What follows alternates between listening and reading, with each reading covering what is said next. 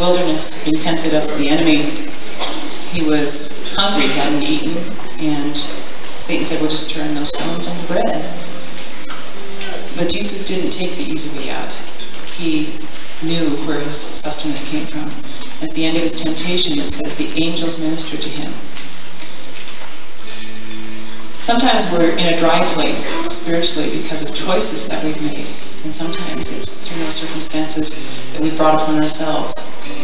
But in those times, in those dry spiritual times, the Lord says, Hey, ho, everybody that's thirsty, come to the water. If you're hungry, I will feed you. That's where our sustenance lies, is in,